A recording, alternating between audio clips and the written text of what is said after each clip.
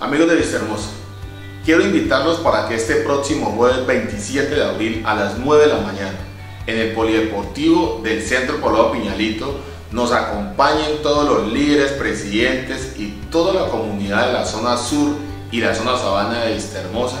a socializar con el gobernador del Meta y su equipo, con el AIM, el proyecto de la pavimentación de la vía Piñal Santo Domingo, un proyecto que es importante para mejorar la movilidad, para mejorar la inundación del Bajo Piñal, para mejorar la productividad y donde le agradecemos a Dios, al gobernador y a todo su equipo la inversión de más de 65 mil millones de pesos que fueron aprobados en el 2021 en el local Región Llanos. A todos les agradezco la asistencia y a todos esperamos allá para solucionarle y aclararles este hermoso proyecto. Muchas gracias.